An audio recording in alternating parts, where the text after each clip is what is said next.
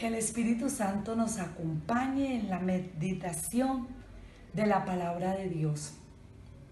Tomado del Evangelio según San Juan, capítulo 2, versículos del 13 al 22.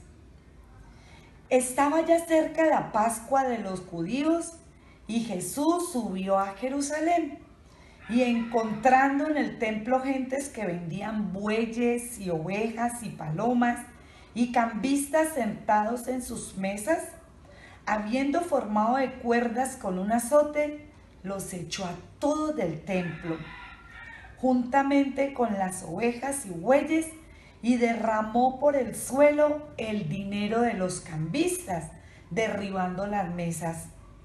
Y hasta los que vendían paloma les dijo, quitad eso de aquí y no queráis hacer de la casa de mi padre una casa de tráfico.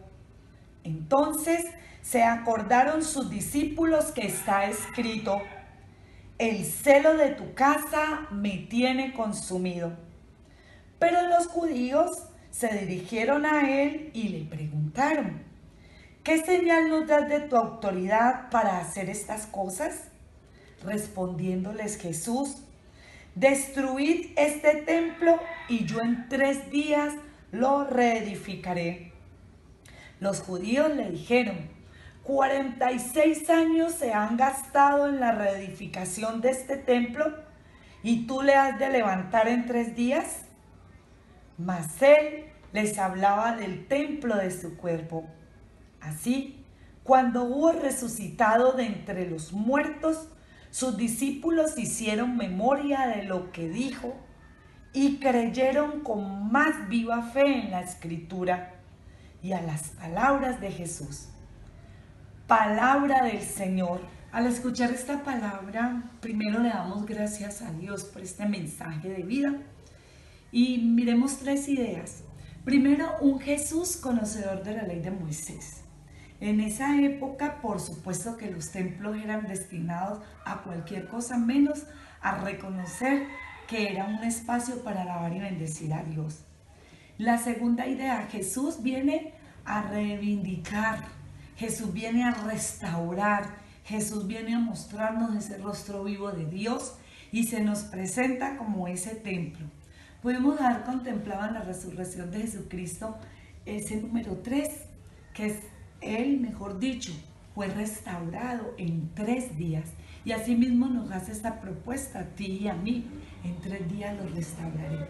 Tener la esperanza y la fe en que Jesús restaura nuestras vidas. Jesús nos reconstruye y nos invita a ser parte de ese templo. Ese templo que es Él, que es un templo sagrado. Ese templo de amor que es la figura de un mismo Dios que nos ama. Y tercero, pensar en Jesucristo y pensar en la obra magnífica del Espíritu Santo. Tú y yo somos templos de ese Espíritu Santo. Sería repensarnos desde la palabra.